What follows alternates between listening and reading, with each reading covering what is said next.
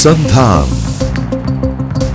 और Gujarat integrated classroom સેટેલાઇટના માધ્યમથી જોડતી કડી એટલે સંધાન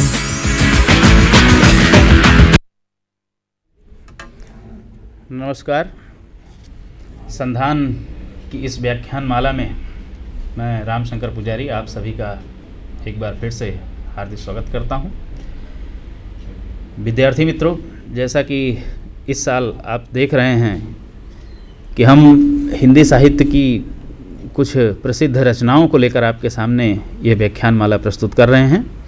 तो इसके पहले भी तुलसीदास की रचनाओं पर, मुल्ला दाऊद की रचनाओं पर, नरोत्तम दास के सुदामा चरित पर और अच्छे व्याख्यान हुए रचनाओं को जो केंद्र में रखा गया है, ताकि इसलिए विद्यार्थी जो हैं, वो रचनाओं से परिचित हों। और वो रचनाएँ हिंदी साहित्य में क्या महत्व रखती हैं और उनकी क्या विशेषताएँ हैं? विद्यार्थी इन रचनाओं को पढ़ने के लिए बाध्य हो, उसे रस पैदा हो, हिंदी की इन प्रसिद्ध रचनाओं के प्रति वह आकर्षित हो। यही इस व्याख्यानमाला का, इस वर्ष का हमारा उद्देश्य है। आज इस व्याख्यानमाला में जिस विशेष कवि को और उसकी कविता को लेकर हम आपके सामने आए हैं, वह हैं रसखान रसखान और उनकी कविता। अब चूँकि रसखान की कविताओं में सुजान रसखान उनकी मुख्य रचना मानी जाती है, प्रेम वाटिका, उसमें दस या ग्यारह पचास के आसपास कुछ दोहे हैं और एक उनकी और छोटी सी रचना है दान लीला। उसमें ग्यारह पद हैं। तो इस तरह से उनकी कोई एक विशेष रचना को नहीं लेकर हमने संपूर्ण रसखान की कविता के संदर्भ में जो है रसखान की बात आज हम करेंगे। हमारे साथ जो हैं रसखान पर विशेष रूप से चर्चा करने के लिए डॉक्टर गुप्ता जी हैं। मैं आपका स्वागत करता हूँ। और रसखान पर हम सर आज जो है बात करेंगे रसखान की कविता पर। और हिंदी साहित्य में जैसे कि हम जानते हैं कि जो काल विभाजन है आदिकाल भक्ति काल रीति काल और आधुनिक काल। तो भक्ति काल और रीति काल इन दोनों कालों को मिलाकर के मध्यकाल कहा जाता है। और मध्यकाल में हम देखते हैं, यानी भक्ति काल और रीति काल को जब मिलाकर मध्यकाल की बात करते हैं तो हम देखते हैं कि तीन प्रकार की काव्य धाराएँ मुख्य रूप से हमारे सामने आती हैं। एक काव्य धारा वह है, जहाँ केवल और केवल भक्ति है। सूरदास, तुलसीदास, कबीरदास, जायसी ये ऐसे कवि हैं जिनका लक्ष्य केवल और केवल भक्ति रहा है। ये भक्त कवि कहे जाते हैं। दूसरी काव्य धारा वो रही काव्य रीति की, जहाँ पर काव्य के, काव्य का काव्य शास्त्रीय लक्षणों के आधार पर वर्णन किया गया, लक्षण ग्रंथों का निर्माण किया गया। इसमें केशवदास देव ये इन जैसे कवि आते हैं। तीसरी जो काव्य धारा है वो है स्वच्छंद काव्य धारा ये भक्ति काल में भी रही और रीति काल में भी चलती रही। ये कवि ऐसे हैं कि ना तो इनका उद्देश्य मुख्य रूप से भक्ति करना रहा है और न ही काव्य शास्त्रीय लक्षण ग्रंथों का निर्माण करना रहा है। ये अपने मन की भावनाओं का, अपने मन की प्रेम भावनाओं का उन्मुक्त रूप से गान करते रहे हैं। रीति काल के जो रीतिबद्ध कवि हैं, उनका नारा था, उनका सूत्र था कि आगे के कभी रीझी हैं तो कविताई, न तो राधिका कन्हाई सुमिरन को बहानो है। कह तो दिया कि राधिका कन्हाई के स्मरण का बहाना है, लेकिन हम देखते हैं कि उनकी कविता जो है, राधा और कृष्ण का कितना उत्थान कर सकती है, भक्ति के कितने निकट जाती है। दूसरी तरफ़ ये जो रीति मुक्त कवि हैं या जिनको स्वच्छंद धारा का कवि कहा जाता है। घनानंद की एक उक्ति है कि लोग हैं लाग कवित्त बनावत मोहित तो मोरे कवित्त बनावत। यानी इन कवियों ने मुक्त रूप से, कविता ही इनको बनाती है। कविता में जिस मुक्त रूप से इन्होंने प्रेम, भक्ति इन चीज़ों को लिया, भक्ति के नज़दीक पहुँचती है। लेकिन शुद्ध भक्ति करना भी इनका उद्देश्य नहीं लगता है। इन्हीं कुछ बातों पर आज हम सर के साथ चर्चा करेंगे और विशेष रूप से रसखान की जो कविता है कि रसखान का नाम सुनते ही मानुस हों तो वही रसखान, बसों ब्रज गोकुल गाँव की ग्वारन। तो ये पद अपने आप याद आ जाता है। तो रसखान को कुछ लोगों ने भक्ति काल के फुटकल कवियों में भी डाल दिया है। कुछ लोग जो हैं रीति काल के स्वच्छंद कवियों में डालते हैं। लेकिन रसखान एक ऐसे कवि ठहरते हैं कि ना तो भक्ति काल के फुटकल कवियों में भक्ति, क्योंकि भक्ति मुख्य इनका उद्देश्य नहीं है। जिस प्रकार अन्य तुलसी, सूर, जायसी आदि को हम देखते हैं कि भक्ति उनका उद्देश्य है, रसखान का उद्देश्य उस प्रकार से भक्ति नहीं है जिस प्रकार भक्त कवियों की, का उद्देश्य रहा है। और जब मुक्त कवियों की बात करते हैं, स्वच्छंद कवियों की बात करते हैं तो हम पाते हैं कि स्वच्छंद धारा के पहले कवि के रूप में हम रसखान को पाते हैं।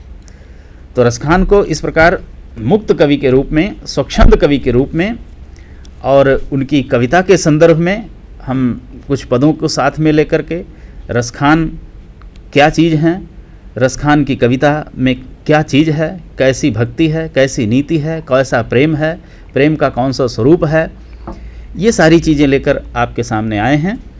और हम डॉक्टर गुप्ता जी से कहेंगे कि, सर, इनके विषय में जो है, रसखान के विषय में, इनके जन्म, इनके समय आदि से शुरुआत करते हुए इनकी कविता का रसास्वादन विद्यार्थियों को करवाएँ तो आप कुछ इस विषय में प्रकाश डालिए डॉक्टर रामशंकर जी ने भक्तिकाल की पृष्ठभूमि आपके सामने रखी और रीतिकालीन कविता पर भी प्रकाश डाला और आपने ये स्पष्ट बतलाया कि रसखान एक ऐसे कवि हैं जो भक्त कवि भी हैं और प्रेम के कवि भी हैं। प्रेम और भक्ति इन दोनों का एक सुभग सम- समन्वय उनकी कविता में हुआ है। जैसा कि आप जानते हैं कि उत्तर मध्यकाल को हम रीतिकाल कहते हैं और पूर्व मध्यकाल भक्तिकाल के नाम से जाना जाता है। और इतिहासकार इसे हिंदी कविता का स्वर्ण युग कहते हैं। चार बड़े बड़े रचनाकार हमको भक्ति काल ने दिए और उत्तम रचनाएँ हमें भक्ति काल से प्राप्त होती हैं। सगुण भक्ति की दो धाराएँ हैं, राम भक्ति और कृष्ण भक्ति। राम भक्ति में तुलसी के राम लोक रक्षक राम हैं और सूर के कृष्ण लोक रंजक कृष्ण हैं। और इसलिए हम देखते हैं कि राम भक्ति की तुलना में कृष्ण भक्ति की कविता जन सामान्य में ज़्यादा लोकप्रिय दिखाई देती है। इसी कृष्ण भक्ति की परंपरा में आते हैं रसखान रसखान का मूल नाम है सैयद इब्राहिम। रसखान प्रेमोन्मत्त भक्ति के कवि हैं। जिस तरह गोपियों पर कृष्ण की रूप माधुरी का, कृष्ण की मधुर बाल लीलाओं का बहुत बड़ा प्रभाव है, उसी तरह रसखान भी एक गोपी भाव से इन सारी कृष्ण की लीलाओं को, कृष्ण के रूप सौंदर्य को लेते हैं और स्वयं एक गोपी बनकर मानो कृष्ण से प्रेम करते हैं, कृष्ण को चाहते हैं। मित्रों, रसखान की एक विशेषता यह है कि उन्होंने मुसलमान होते हुए भी भक्ति का वह मार्ग अपनाया, जिसमें प्रेम, सौंदर्य और भक्ति तीनों की त्रिवेणी एक साथ प्रवाहित हो गई है। और इसलिए रसखान के इस अद्भुत सौंदर्य को, समन्वय को देखकर आधुनिक काल में भारतेंदु जी को कहना पड़ा, इन मुसलमान हरिजनन पे कोटिक हिंदू वारिये। ऐसे मुसलमान हरि भक्तों पर करोड़ों हिंदुओं को न्यौछावर किया जा सकता है। वास्तव में भारतेंदु की यह टिप्पणी और रसखान पर शोध कार्य, समीक्षा का कार्य भी आरंभ हुआ भारतेंदु युग के बाद में। भारतेंदु जी की रसखान जी की दूसरी विशेषता यह है कि जाति, धर्म, संप्रदाय, भाषा, इन सारी संकीर्णताओं से ऊपर उठकर उन्होंने कृष्ण के प्रेम और कृष्णी भक्त की भक्ति की जो धारा बहाई, वो अपने आप में एक बहुत बड़ी मिसाल है संप्रदाय निरपेक्षता की, धर्म निरपेक्षता की। आज हमारे देश में जिस धर्म निरपेक्षता की बात की जाती है, वह छद्म धर्मनिरपेक्षता है। इसे हम सो कॉल्ड सेक्युलरिज्म कहें तो कह सकते हैं। लेकिन आज के इन- हमारे राजपुरुषों और हमारे आज के इस वर्तमान परिवेश में यदि धर्मनिरपेक्षता की सच्ची कोई मिसाल प्रस्तुत की जा सकती है तो वह रसखान के रूप में प्रस्तुत की जा सकती है। रसखान का जीवन एक ऐसी किताब है जिसके पन्ने हम उलटते रहते हैं और बहुत कुछ, बहुत कम हमें प्राप्त होता है। उनके जन्म, उनका जन्म कब हुआ, कहाँ हुआ किस वंश में हुआ? इसको लेकर कोई ठोस और प्रामाणिक साक्ष्य हमारे पास नहीं है। इतिहासकारों में कई प्रकार के मतभेद हैं। लेकिन उन सबसे गुजरते हुए हम कुछ चीज़ों को अ, हम आपके सामने प्रस्तुत कर सकते हैं। किसी भी रचनाकार का जो परिचय है वो दो तरह से दिया जाता है। बाह्य साक्ष्य के आधार पर और अंत साक्ष्य के आधार पर। बाह्य साक्ष्य की दृष्टि से दो सौ बावन वैष्णवों की वार्ता और वेणी माधवदास रचित मूल गोसाई चरित में रसखान के बारे में कुछ बातें बतलाई गई हैं।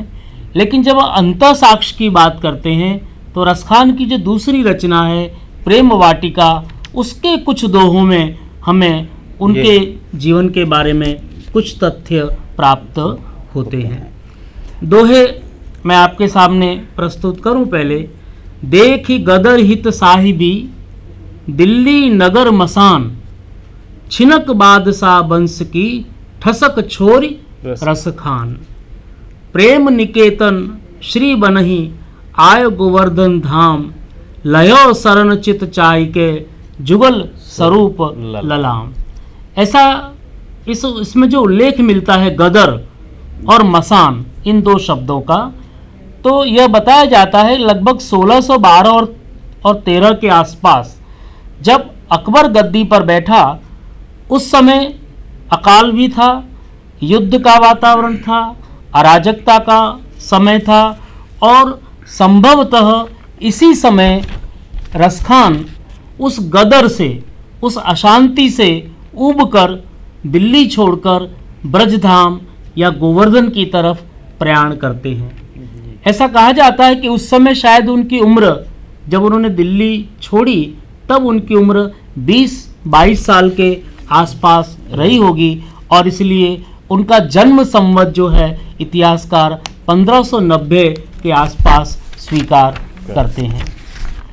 इस गदर का जो संदर्भ है, उसके बाद रसखान दिल्ली छोड़कर हमेशा के लिए ब्रजधाम आते हैं और ब्रजधाम आने के बाद वे कभी उस प्रदेश को उस पवित्र भूमि को छोड़कर बाहर नहीं जाते हैं और वहीं पर उनका निधन भी होता है सर ये इस मामले में उनके जीवन से जुड़ी हुई कि वो दिल्ली छोड़कर जो ब्रज गए तो एक कुछ किवदंतियाँ भी प्रचलित हाँ। हैं कि दिल्ली में वो किसी साहूकार के हाँ। बेटे से प्रेम करते थे फिर बाद में ये पता चला वो लड़का नहीं लड़की थी रही होगी इस संदर्भ में भी जो है यानी आपने कहा कि गदर मुख्य कारण है पठानों के ऊपर जो पठान लोग जो थे वो मुगलों को जो है वो विदेशी आक्रमक आक्रामक मानते थे और वो इनका संघर्ष होता था और इसी संघर्ष के कारण जो है वो दिल्ली छोड़कर गए इस आपने जैसा कि बताया तो लेकिन ये दूसरा पक्ष जो है हाँ। कि ये कुछ दोहे हैं ये भी उन्हीं की प्रेम वाटिका में प्रसिद्ध हैं हाँ। कि तोर माननी तय हियो फोर मोहिनी मान अप्रेम देव की छवहि लखी भय मियाँ रस खान। मोहन छवि रस खान लखी अब द्रघ अपने नाही ऐचे आवत धनुष से छूटे सर से जाए। देख्यो रूप अपार मोहन सुंदर श्याम को। वह ब्रज राजकुमार ही अजिय नयननी में बस। बस। आपने ठीक कहा एक साहूकार के लड़के से प्रेम का संदर्भ जी, जी। एक किंवदंती के रूप में आता है और उसमें एक बात और थी कि वो साहूकार के लड़के से जिस तरह प्रेम करते थे उसे देखकर कुछ वैष्णव आपस में ये चर्चा करते हुए सुनाई पड़ते थे कि भाई कृष्ण से हमें वैसा ही प्रेम करना चाहिए जैसा ये रसखान जो हैं वो हाँ, साहूकार के लड़के से। लड़के से करते हैं और ये दूसरा संदर्भ जो है शायद वो किसी मानिनी या सुंदरी स्त्री से प्रेम करते रहे हों लेकिन जब उन्होंने देखा कि कृष्ण और गोपियों का प्रेम इतना अद्भुत है कि गोपियाँ कृष्ण के प्रति पूर्णतः तन मन से न्यौछावर हैं। तो उस मानिनी के मान को उसके अहंकार को वो ठुकरा कर और ब्रजधाम की ओर जब प्रयाण करते हैं और ब्रज में जाकर वो देखते हैं कि कृष्ण का जो रूप है, श्याम का जो रूप है, वो इतना अपार है कि उसको देखकर नेत्र हमेशा के लिए उन्हीं के हो जाते हैं और इसी मान्यता के अनुसार ऐसा कहते हैं कि एक बार कृष्ण के रूप को देखने के बाद वे किसी और चीज़ को देखना उन्हें पसंद नहीं था और वे वहीं पर जाकर अपने बस जाते हैं। जी। सर, इसमें जो है कि एक कारण ये बताया आपने साहूकार के लड़के से और कुछ वैष्णवों को कहते हुए सुना और कि जिस प्रकार प्रेम उसी प्रकार करना चाहिए जैसे रसखान जो है वो साहूकार के लड़के से प्रेम करते हैं। ये जो दोहा है कि तोर माननी तय हियो फोरी मोहिनी मान। तोर मानिनी माननी मतलब हो सकता है उनकी पत्नी रही हो जो मान करती मान कर तय हियो उनसे संबंध तोड़ दिया। दिया। उनसे मन मुटाव हुआ या जो भी कारण रहा हो उनसे संबंध खत्म हुआ। होरी मोहिनी मान। मान। मोहिनी किसी दूसरी हो सकता है कि साहूकार की जो लड़की हो कहीं कहीं लिखा हुआ मिलता है कि वो लड़की नहीं लड़का नहीं था बल्कि लड़की। थी। और वह मोहिनी जो इन्हें आकर्षित करती